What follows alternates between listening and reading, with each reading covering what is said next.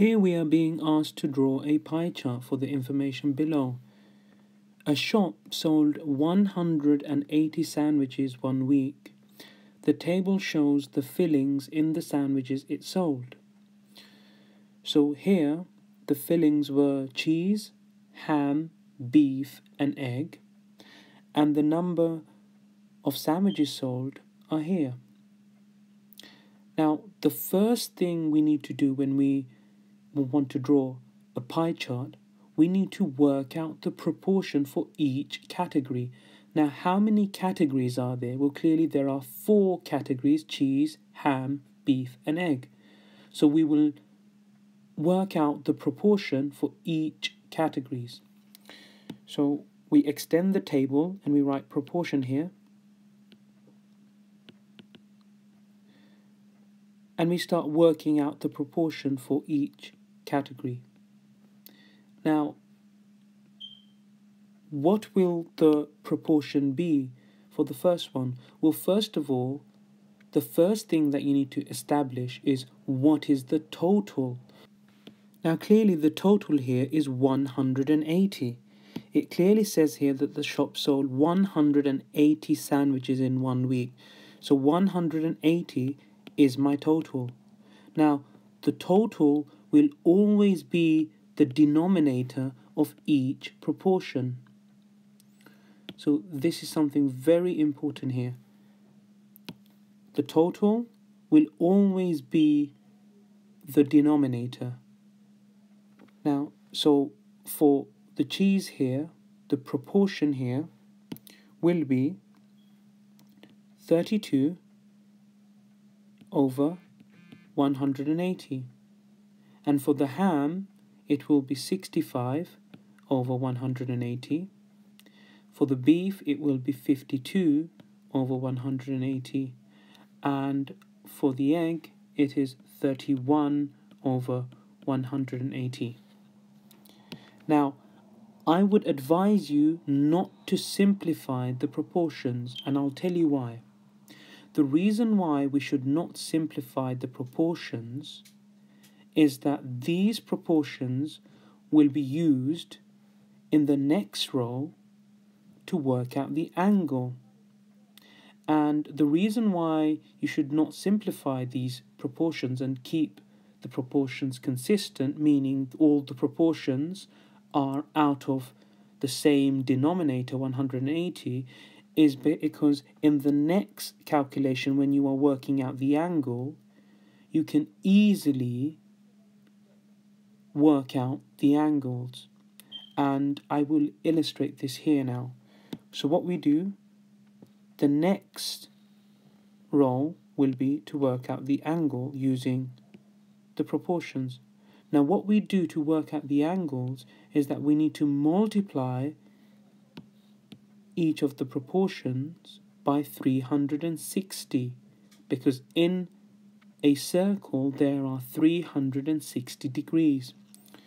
So we will multiply the proportion by 360. Now, how do you work this out? Well, clearly 360 divided by 180 is 2. 360 divided by 180 is 2. 2 times 32 is 64. So my answer here is 64 degrees. Now, for the next one, we do the same thing. We multiply the proportion 65 over 180 by 360. And then again, similarly, we do 360 divided by 180, which is clearly 2. So we simplify this. 360 divided by 180 is 2. 2 times 65 is 130. So the angle here is 130 degrees. Now, as you can notice, each time I three I, I will have 360 divided by 180 and which will equal 2. So you can easily do the rest. And that is the benefit of not simplifying each of the proportions. And because the SATs, because they have abolished the calculator paper in the SATs now, all of the questions that they will give you on pie charts, you will see that the denominator of each of the proportions, i.e., the total, will always be a factor of 360 so that you can easily divide 360 by that total. Now let's do the next ones. So the next one again will be 52 over 180 times 360. And clearly 360 divided by 180 is 2. 2 times 52 is equal to 104 degrees. And then last but not least, 31 over 180 times 360, which again 360 divided by 180 is 2. 2 times 31 is equal to 62 degrees. And we are done. Now what do we do? Always, always check your answer. To check that you have not made a mistake, all you need to do is check that all the angles that, that I have worked out here, do they all add up to 360? Well, clearly I can see that 64 degrees plus 130 plus 104 degrees plus 62 clearly it totals to 360 degrees. So I know that I have not made a mistake. Now that we have our angles, we can now draw our pie chart.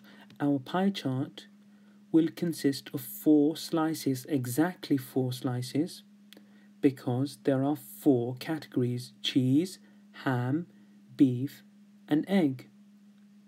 Now, before we draw our pie chart, I, I want to summarize what we just did here. So step one, we work out the proportion of each category. And remember the denominator will be the total. So for each of the categories, cheese, ham, beef and egg, we worked out the proportion. Now for each of the proportion, the denominator will be the total that of each of the categories. The total here is 180. So the denominator will be 180 for each of the proportions. And step 2, we multiply each proportion by 360 to work out the angles. So here, this is what we did. We multiplied each of the proportions by 360 to work out the angle of each category so we can draw, draw the pie chart. So we multiplied the proportion by 360 to work out the angle. And in step 3, we use the angles that we have worked out to draw the pie chart.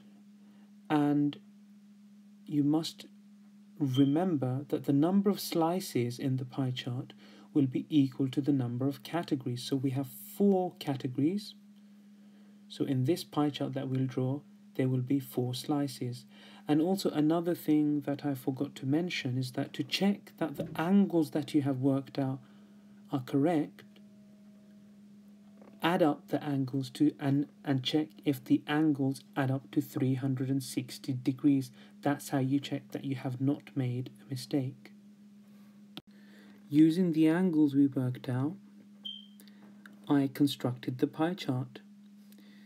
Now, the first category here was cheese, and the angle was 64 degrees. So I started from here, this was my first line, and then I measured 64 degrees anti-clockwise using a protractor. So I measured 64 degrees anti-clockwise. Now, when we are measuring anti-clockwise using a protractor, we should use the inner scale, not the outer scale. So when we are measuring anti-clockwise, from right to left, we use the inner scale. And then after drawing the first slice, 64 degrees, I measured this, the second slice, which was 130 degrees. Again, anti-clockwise, using the inner scale of the protractor. And then I did the beef, which was 104 degrees. And then last, the egg was 62 degrees. So once again, a, a summary of the steps. First, we will work out the proportion of each category and for each of the proportion, the denominator will be the total. And then we multiply each proportion by 360 to work out the angles. And then we use the angles to draw the pie chart. And remember the number of slices I have will equal to the number of categories there are. So please remember these steps and always remember if you have worked out the angles correctly but you but, but you constructed the pie chart incorrectly you will still get half of the marks. So please remember these steps and work out the angles correctly. Even if you cannot construct the pie chart if you work out the angles you will get half of the marks in the exam